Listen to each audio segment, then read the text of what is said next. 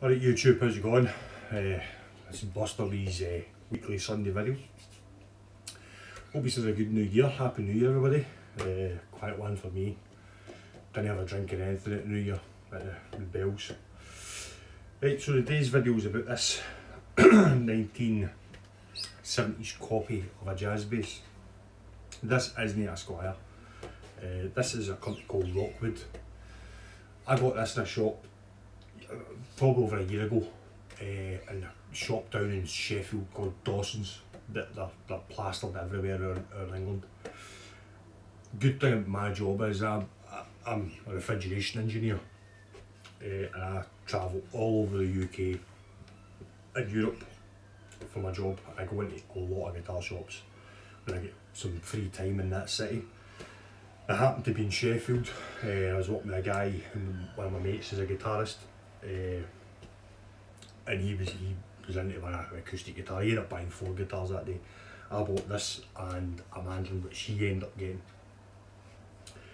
So, speaking to the guy, there's two of these left in the shop.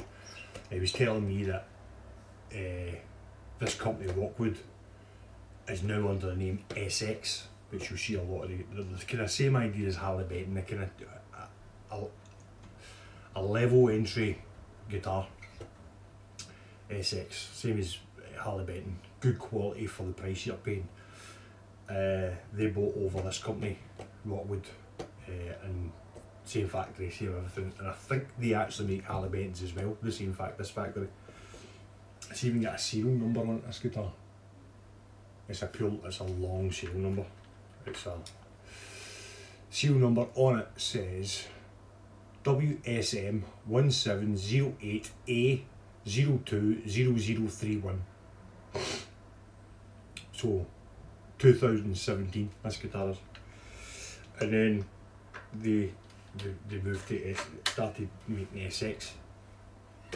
Dawson, this is like a Dawson's own kind of shop.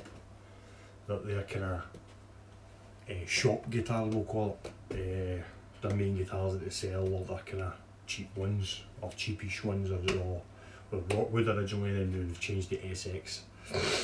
I, I don't think SX make one like this. They do a jazz bass but it's like in a puke green colour and it's got the uh, pickup covers and all that on it.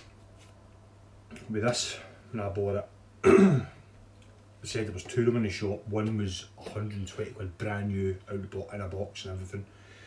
And then this one because my mate was buying four guitars and I bought a mandolin, uh, I got this for 59 quid. And only because, only damage on it was in the finish, there's a wee blemish here. So when I got it, it was bog standard, silver machine heads, uh, silver string tree, normal bent uh, bridge, silver saddles, chrome saddles. Uh, the pot cover was chrome, uh, chrome buttons for the, strap and stuff like that. So I obviously modded it, which I do with most of my guitars that I'm keeping myself. Put the black machine heads, vinyl the top. This did have a wee kind of point here. I just kind of knocked it off, it just looked kind of stupid. So I just kind of knocked it off and rounded it off a wee bit.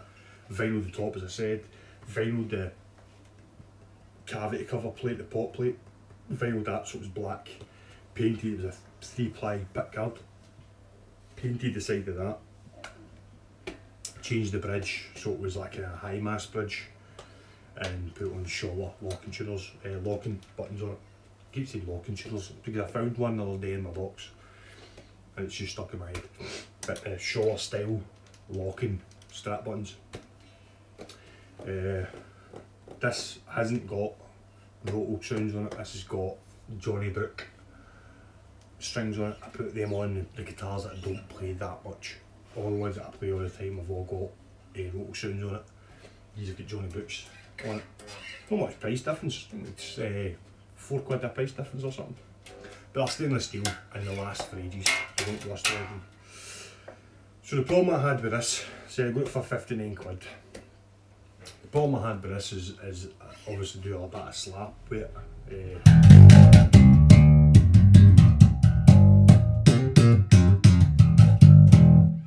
So doing that, because I've got it, the, I've got the fretboard as flat as I can get it. I've got the strings really low, as low as you get to do the slap. What was happening was the string was hitting off the pole. Uh, no matter, I, I decked, I decked the, the pickups as, as far down as you go. I took, it, I took out the sponge, I took out the springs and I decked them into the body as far as they would go and the string was still hitting off the pole. So I'll show you these.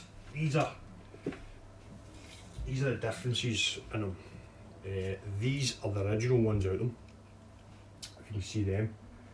I mean the poles in them are sticking out a bit of mill out of the cover. so if you took off the cover, the spool inside, they must be sticking out about two mil. So that's what the string was hitting off of no matter how, and they're quite deep, these pickups. So these are, are quite, quite far out. These are proper fender ones. And if you look at the poles are not sticking out as much. if you can see that. So I tried these and it was still doing the same thing. So the pickups that I've got in it, if you noticed them, you don't have any poles coming out.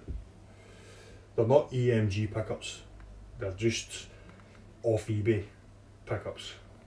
And they sound, they're quite high output, but they don't have any poles in them.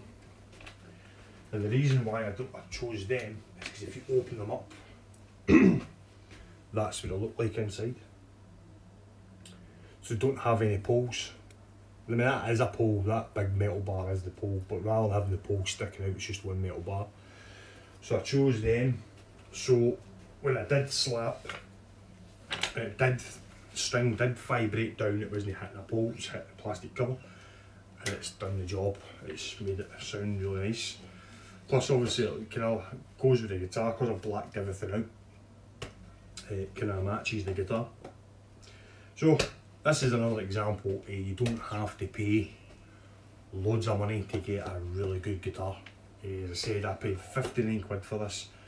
It was brand new. The only bit was a wee bit of damage. It wasn't a return. It wasn't uh, anything like that. It just obviously been damaged either in shipping to the, the store or in the store. Uh, but even buying one mint condition at the time was 120 quid. Don't know how much the SXs are. They don't, I don't think they make one of these, as I said, I don't think they make this, this, this style anymore. This is the kind of 70s style. I think that's what Fender call them. It's because of the black inlays. So this has got black inlays, black binding.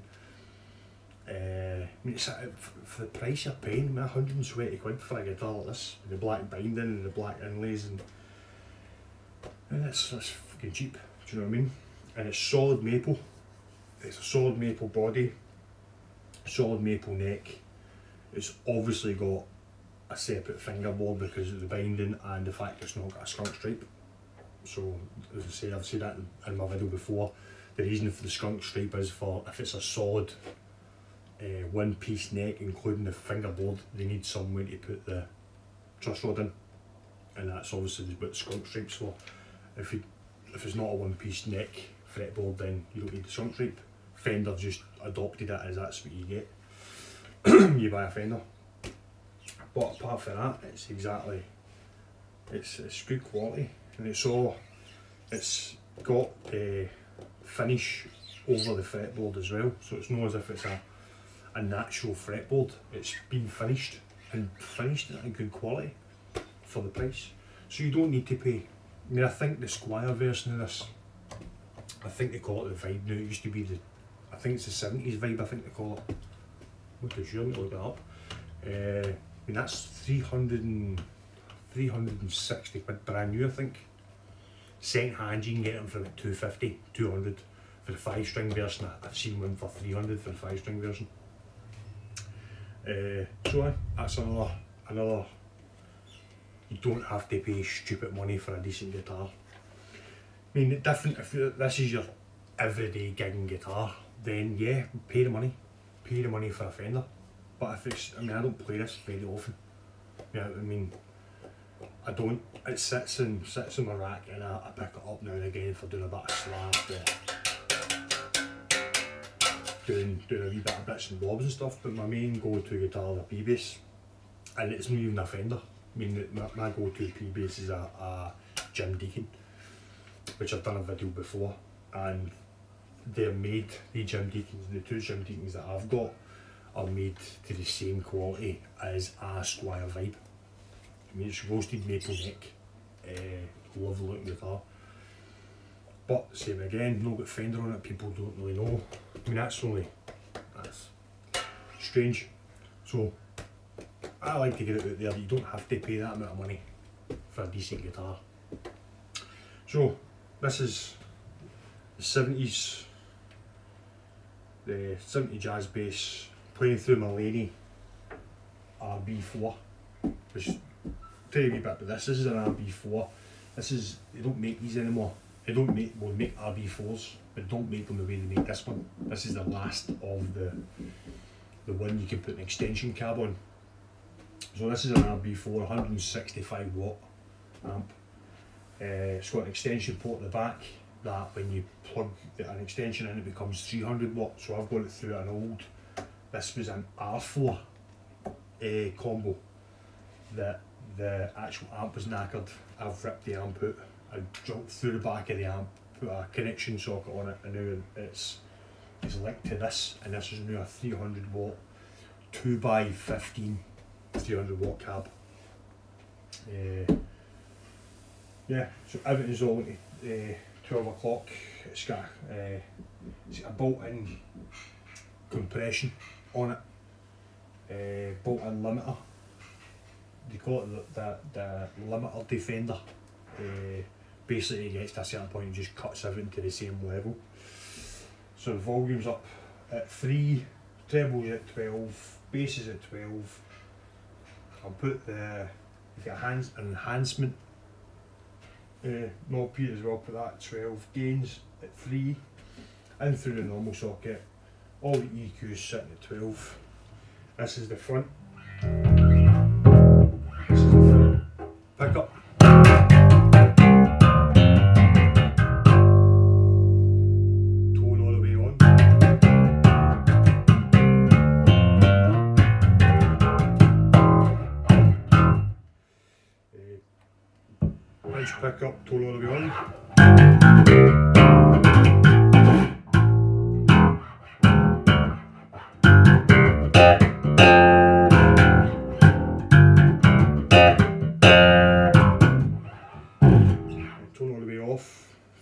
front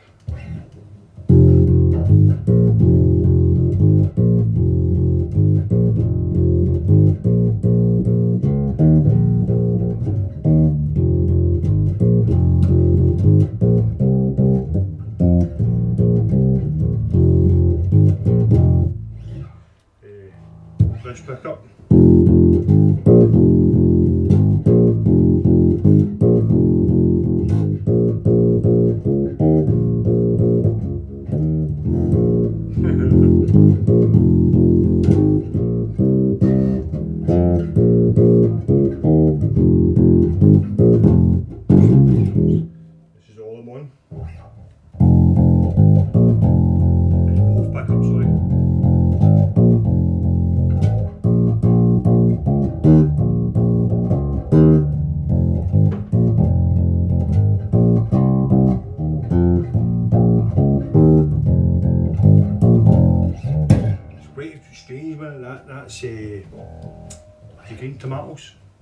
called. That's I mean it's...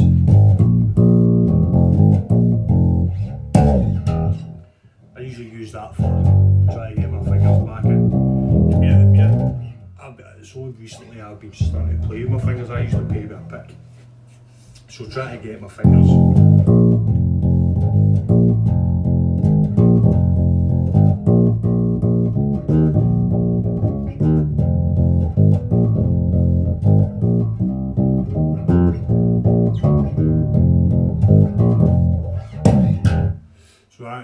trying to get used to my fingers and playing standing up after I broke my leg for so long, it's quite strange. So that's it, so nice cheap bass, good quality. Uh, if you can pick, when you find one, I'd pick one up. Uh, I'm going to start going through. I'll go through the rest of the basses that I've got, and then I'm going to start doing. I don't know what I'm going to do with that actually. Obviously, I'm quite new to this, so I'm, just trying to get find my feet and find a, a thing I'm going to do. Playing on playing on video as well is quite strange. It's quite, I, I can't get bring me doing it. So I'm hoping my time goes on. Uh, I'll, I'll find it easier playing. I, I'm kind of conscious that I'm playing on, which I think it throws me when I'm playing. Uh, so I'm used to just trying to ignore the camera. So, black, but green green tomatoes, I was showing my mate that I, I try and do it, try and do it slapping off.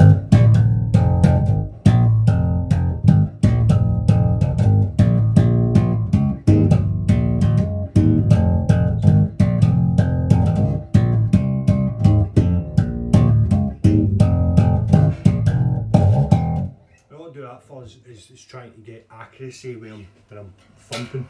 Because I, I, I know what it sounds like using my fingers, I, I try and use that so I can get more accurate with my thumb I'm doing slaps so you can hear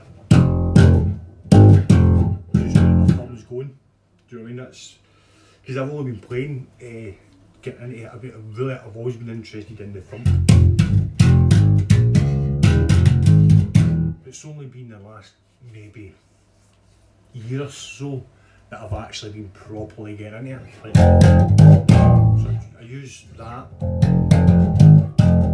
to, to get the accuracy of where my thumb's going so I'm not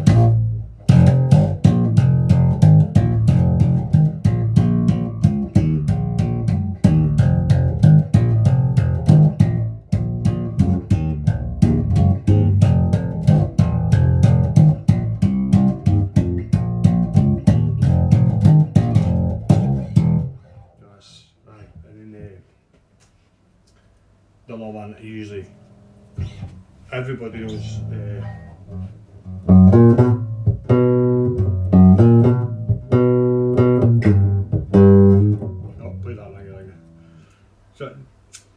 weird because I'm just trying to try. I'm, I'm conscious of the video, so it's kind of messing up.